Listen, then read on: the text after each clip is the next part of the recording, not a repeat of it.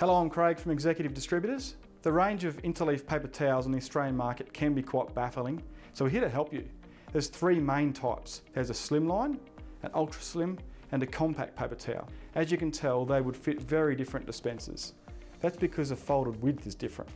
So if you're not sure which paper towel to use, what we'll get you to do is to phone us up with the folded width of the paper towel and the length of the paper towel.